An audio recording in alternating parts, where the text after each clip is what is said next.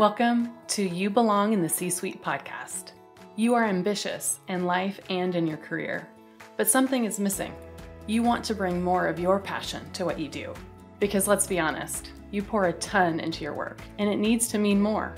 I'm your host, Laura Eigel. I'm a mom, wife, PhD, coach, advocate, introvert, and indoor rowing fanatic. I'm passionate about living a life that's in line with my values.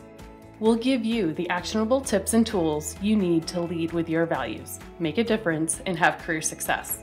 The world needs more diversity and authenticity in the top jobs at organizations. Your leadership belongs there. You belong in the C suite.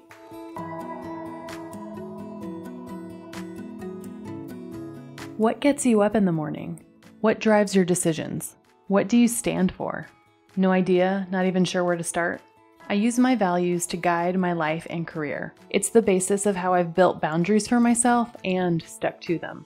Are you ready to dig into what matters to you? Go to thecatchgroup.com to download your free values worksheet. That's thecatchgroup.com to download your free values worksheet to get to your core values and take action on what matters most.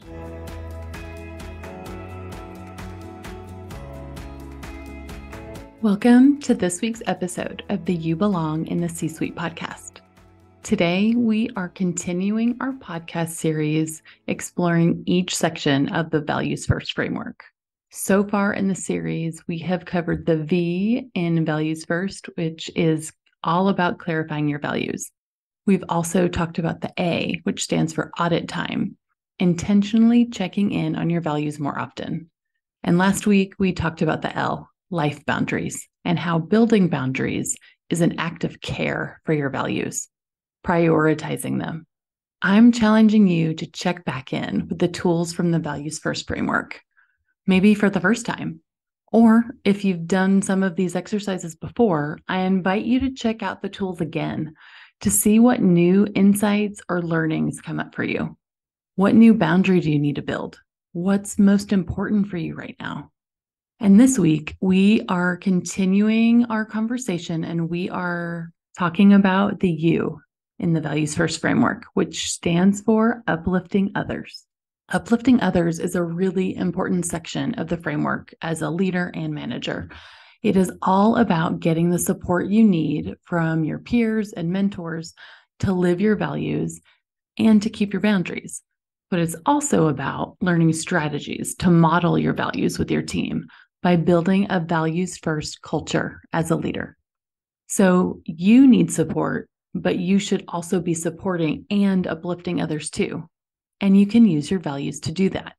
Today, I want to focus on the supporting others part of this section. So, most likely, you have been inspired by lots of people in your life your friends, your family, maybe some great managers or mentors. You may have learned so much from those experiences and people that you admire. You may also have learned even more by situations or leaders who haven't been so great. You've learned what not to do. And sometimes that's even more motivating. I want to share one of my favorite stories that I told in Values First. It is from my own experience, and it was a shared experience that I had with my very dear friend it was one of those times where you see something that you really don't agree with and it motivates you to do something in a different way.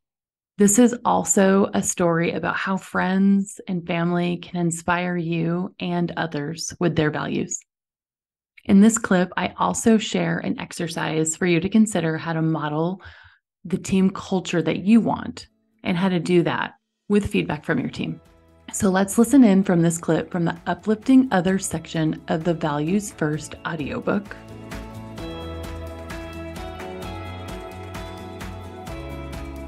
As a leader, it is important to live my values within my leadership style. That means modeling my values. When you're in a leadership role, people are watching what you do. They're watching what you say and how you react. They're watching what you react to and how long it takes. They don't get to see the full context of the decisions that you make. Often, they only see the outcome. Leading can be lonely and hard. which is why it is important to me to belong to an organization that is aligned with my values. For instance, my value of advocacy is important to me. I want to work at an organization that advocates for diverse representation in all roles of an organization through a diversity, equity, and inclusion strategy. It is motivating for me to work for someone that leads in alignment with their values. My values and my manager's values don't have to be the same, but I need to see that they are aligned with the organization's culture and that they are living their own values. As a leader, you need to show up with grace and consistency. What does that do? It shows the behavior you want to model and shows that it is permissible. It gives them permission to do something similar. In my corporate job, we transitioned to a more casual dress code. We had been business casual except for jeans on Fridays. We could dress for our day, meaning that if we did not have a customer meeting, we could wear jeans on any day. The senior teams were to model the behavior to show that it was acceptable. Some had an extremely hard time doing that. They looked visibly uncomfortable showing up to the office in jeans. Many did not even wear jeans on a Friday when it was allowed. But they did their best and showed up modeling the behavior. If employees do not see you doing it, then they may not think it is okay for them to do it. They may just think it is a trend or something for the younger workforce. To change the culture, it takes showing up for something consistently in order to make that change. What behaviors from your I'm living my values worksheet, from the values first section, will show up at work? Who will see them? How can you ensure that you'll be consistent? For me, the indicators of success for my family absolutely show up at work. People will see when I am or am not in the office. They will see if I attend meetings when I am supposed to be with my kids. If I'm maintaining balance, I bet I'm showing up as a better leader for my people with less frustration and anxiety. I bet I'm a better coach. I bet I am a better listener. The weeks that I get my workout in more days and set my pace for the week will most likely show in all aspects of my life especially at work. But the long game, the consistency of that, is where I want to be able to see the outputs. I want to see what impact my behavior has on the culture of my team and the boundaries that they set and live by. As a leader, I think you also need to talk about your values transparently. When I started in my C suite job, I set up one on one meetings with each person from the team to get to know them. This was a suggestion from my direct report, Tanya, the most thoughtful gift giver who's ever lived, who did that when she came into the organization a few months prior. No one had done that previously with this team before she did. I had some of the best conversations in those Zoom meetings. I started by bringing everyone through the values on my vision board in a team meeting and let them know that I'd be having informal conversations with each of them in the upcoming weeks we were able to connect on values as a starting point. In some of the meetings, the team members put together a similar PowerPoint page as a response to mine, so I could get to know them at that level too. It was heartwarming to see their families, their goals, their visions, and their values depicted on a page in a visual way. Each person is unique with multiple experiences, I was in awe of the life stories and capabilities that they were each bringing to their work. This gave me time to form a personal connection to each of them early in my tenure in the role and organization. It also set the stage for talking about modeling behavior I wanted for my life and team. In my life, there are few better examples of someone modeling their values than my friend Kiva. Kiva, an unassumingly funny, stunning woman and the most amazing mother I've ever met, joined our small but mighty work group in my early mid career. We became fast friends at work, bonding over stories of her family, fashion, and recipes. We also bonded over similar negative interactions with a male colleague, John. John managed up very well, but somehow he always needed something urgently. Whenever he emailed or called, it was always something, something that he was usually delegating to one of us on his impossible deadline. We had a department meeting every year to celebrate the year's accomplishments. There was a banquet night for the formal awards. The most coveted award that was given out was the Eagle. The Eagle Award was given under different categories, but the gist was that the recipient of the Eagle had gone above and beyond, and their work had resonated beyond their team and department to impact the company in some way. It was a crystal eagle that sat on a wooden base. It was a fun night to cheer on your colleagues while eating the sad hotel cheesecake dessert. Guess who got an Eagle Award that night? John. We were floored, like, huh? What or whom did John fool to get this award? Whom did he mow down to impress? Needless to say, it was a bit demotivating to see his behavior being rewarded. On the following Monday, Kiva and I had to catch up about this tragedy. Not a real tragedy, but one of those times when you don't think karma is working at all. At the end of our discussion, we decided that we needed to create a new award since, you know, the Eagle Award was obviously rigged. That was the day that the Peacock Award was built, using Google images of a peacock on a certificate we made in PowerPoint.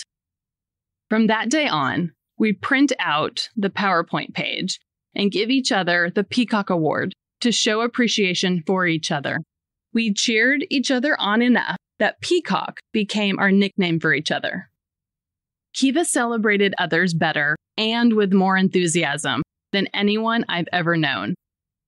She always volunteered to plan and celebrate everyone she loved. If there was a baby shower, she'd plan the menu and decorations. If there was a wedding shower, she'd meticulously plan the games. She lived for celebrating others, especially her family. One of my favorite parties was the high school graduation of her daughter. She had purple and gold popcorn, themed food, and the best iced tea I'd ever tasted. My sister and I attended to offer our congratulations to the graduate. Kiva beamed, in her entertaining element, spending time and laughing with her guests, who were all important to her. They felt important, and she made us feel welcomed everywhere she was. That was the last time I got to celebrate with her. She passed away unexpectedly later that year. The value of celebrating and appreciation lives on with everyone that she loved. She was a constant cheerleader, celebrating small moments, large moments, peacock moments. In my career, I continued our tradition. I created a departmental award called the Peacocks in which I recognized nominated team members who demonstrated and lived the strategy of our team above and beyond. The Peacock Awards lived on, celebrating the successes of people that Kiva had never known, but whose leadership lessons they were lucky to receive. What kind of legacy do you want to leave? Living a values first life and modeling your values is a great way to positively impact the world and inspire those around you. Next, Let's talk about how your values and boundaries influence those around you. Courtney thought her values of quality, knowledge, and gratitude were the reasons her team was high performing. Build your team culture. I coached a leader named Courtney, an executive in finance who was working to advance her career. She wanted to get to another level in her organization and to become a more inspirational leader. She identified her values and prioritized high quality. She had high standards for her work and that of her team. She told me about a complex report that she would run every week, which left her unable to take much time off. It was so valued by her peers that she didn't want to delegate it to anyone else.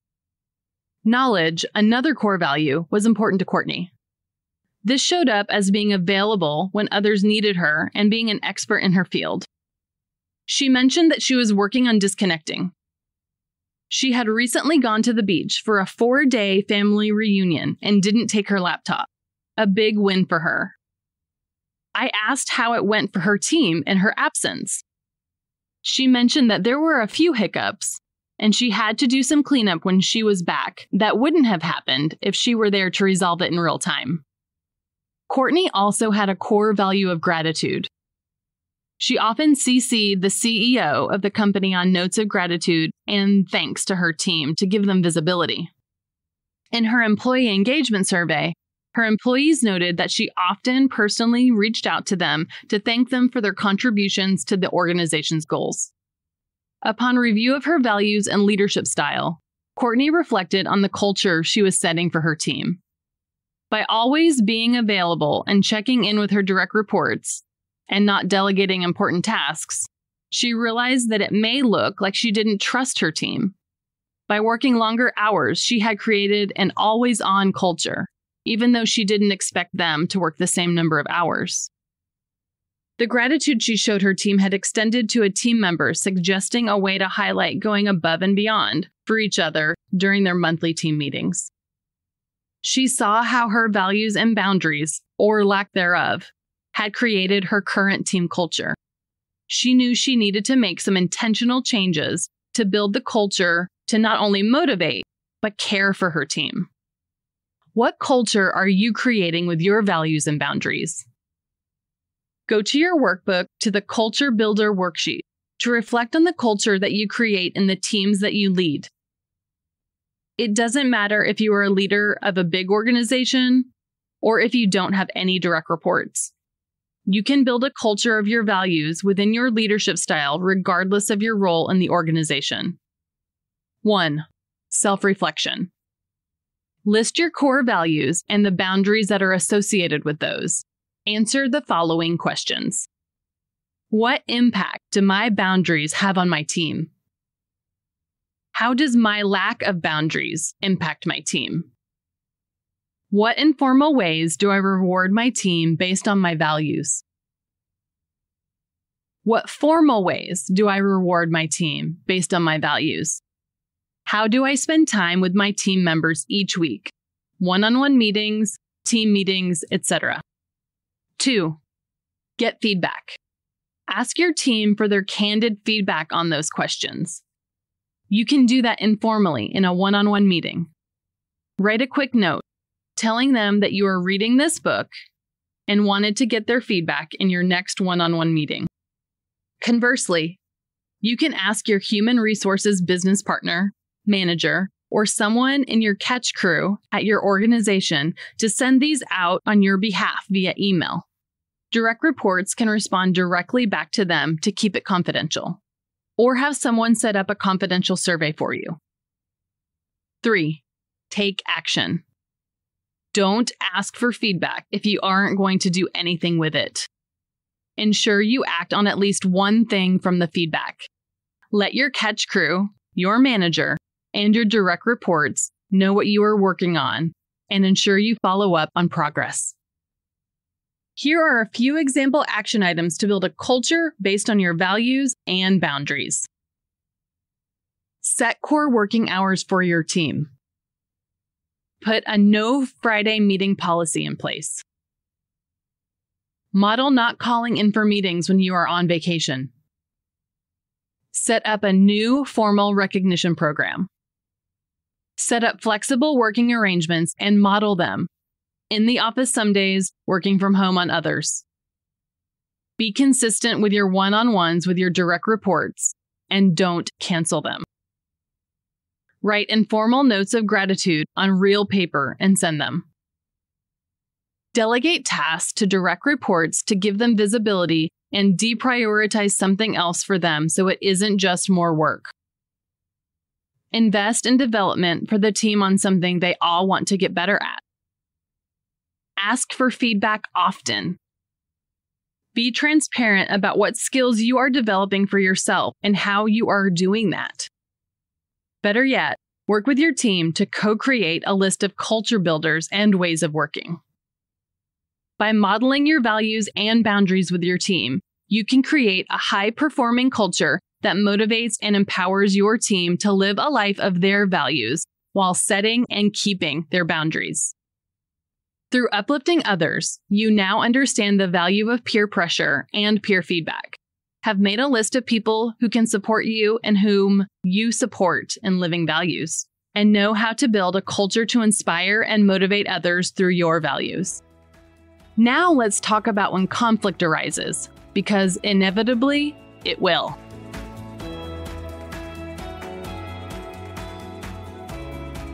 So, as a leader, how can you model and build a team culture that motivates and inspires others? It doesn't have to be huge things, but really the consistency of the right small things. One of the reasons I do what I do is because I want more leaders to have great cultures at work. I want them to build really great workplace environments. I want you to be able to do that for their for your teams. Think about the impact that that could have like that that just makes me excited just to think about the ripple effect of that and your ability to impact the lives and work of so many people. And if you are listening to this podcast i bet you're already a pretty great leader. So how can you continue to utilize your values a little bit more intentionally as you lead your team?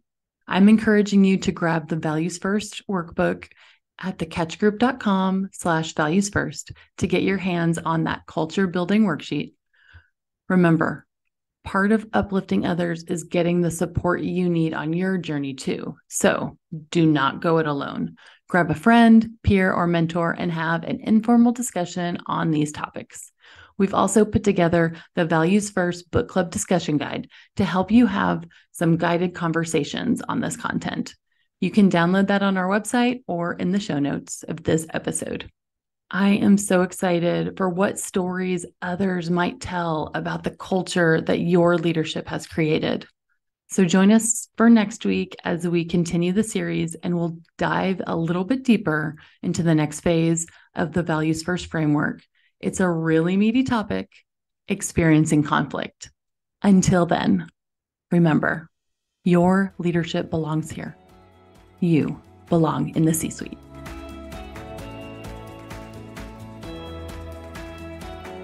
I want to thank you so much for listening to the You Belong in the C Suite podcast.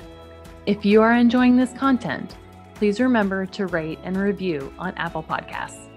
By leaving a review, you are helping others find this content. We will be featuring five star reviews on air in upcoming episodes. Editing and support for the podcast is done by S&E Podcast Management.